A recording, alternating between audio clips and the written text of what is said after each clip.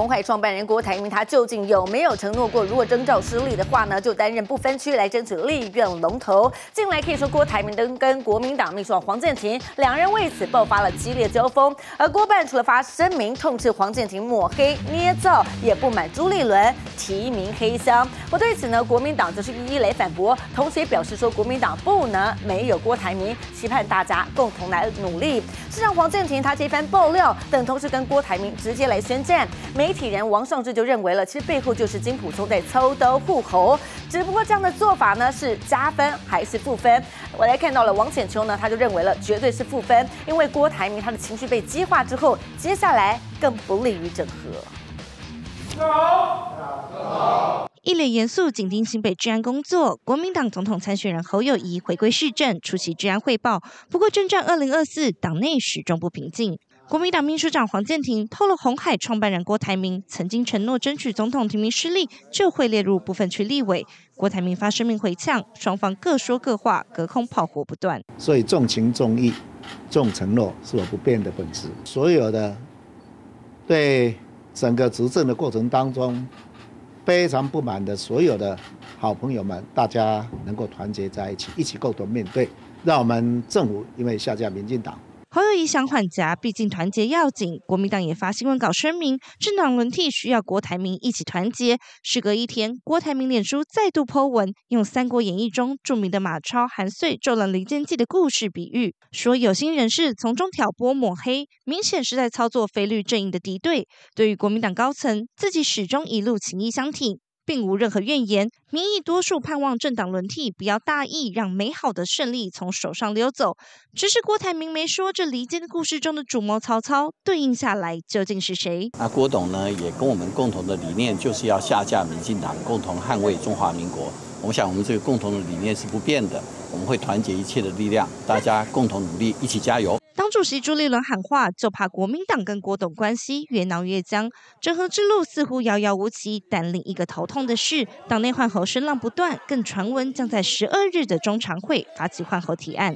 比赛的过程当中，难免有一些障碍，我不但会超越障碍，我更会往前冲，更会凝聚所有的力量，赢得胜利。听郭势力蠢蠢欲动，尽管郭台铭说鹬蚌相争会让渔翁得利，但外界形容郭台铭随时要翻脸。两败俱伤的下场，恐怕彼此都要好好想想。记者林俊廷、张凯琳采访报道。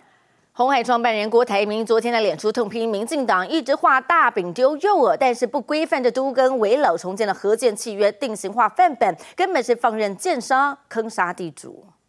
郭台铭搭上居住正义热潮，直接点名蔡英文总统，可曾听见都跟地主们的哭泣？他质疑都市更新和围老重建两项政策已经失控，还说常听到建商伪造文书、私吞容积奖励、灌公社比，或是因为合约没有注明退场机制，成为万年合约。建商和地主的争议时有所闻，而吃亏的往往都是地主。感谢郭董哈，把我们家的案例哦拿出来讲，建商呢拿着一百零三年的代科变章的授。授权书就拿我爸妈的房子跟土地去申请一百零六年之后才有的围老新法的这个呃申请这个奖励容积，那我爸妈的土地产生出来的这个一百二十三平多的围老的奖励容积。通通都被建商全部吃掉。郭台铭质疑繁琐艰深的核建法条有几个地主能看懂？但十几年过去，关于独根与围老的核建契约定型化范本却不见拟定，哪些条文该记载，哪些不该记载，都没获得政府的保障。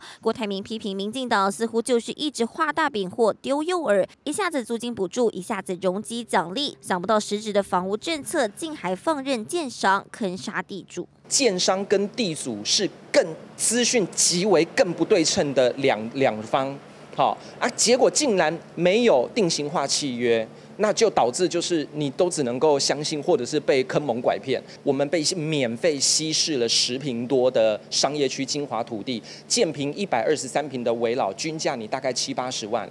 我们我们光是这样子就损失大概一亿了。在签下同意书之前，建议呢要多多打听建商的风评跟过去的推案记录，到底这家建商优劣如何，再来签同意书。其次呢，契约内容也应该逐条审阅。是否颁布都更围老重建的核建契约定型化版本？内政部暂时没有回应。但相较台面上所有总统参选人，郭台铭再再点出执政党弱点，也凸显在野党监督不力，政治动作频频，再度展现对总统大位的野心。记者曹天黄胜全采访报道。